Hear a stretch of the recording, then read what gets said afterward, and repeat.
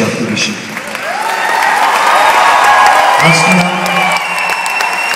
امشب من مهمان عزیزی دارم. بسیار برای من این انسان عزیزه یک همکاری بسیار ارزشمندی در رابطه با دوستان و هموطنانی که در کشورهای مختلف گیر می‌کنن و نمی‌تونن بیان به کشورهای دیگه مثل امریکا یا کشورهای اروپایی. این نازنین به من محبت کرد و بسیاری از دوستان من که از من از بنیاد آینی خواستن که بیان خارج از کشور کمک کرد یاری کرد. من بهش بسیار احترام می‌ذارم بسیار قلبا دوستش دارم. برای اینکه انسان والایی است برای اینکه درد جامعهش رو می‌دونه برای اینکه مبارزه داره می‌کنه برای آینده اون مملکت. و آهنگی رو که و دوست داره. موقعی که زندان بوده.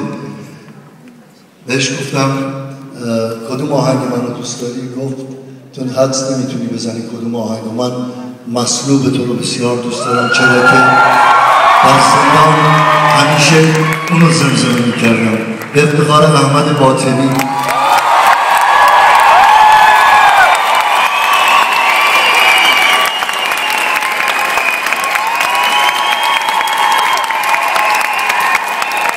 مصلوب با اجازتون تقدیم احمد باطنی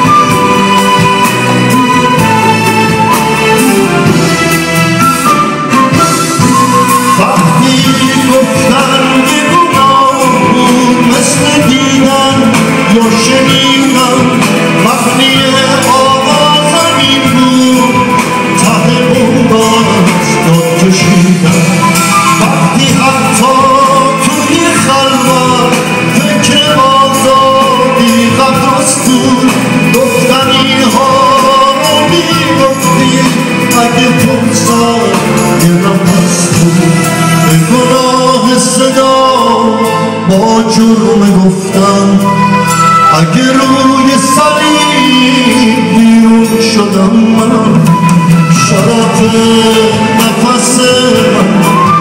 اگه شد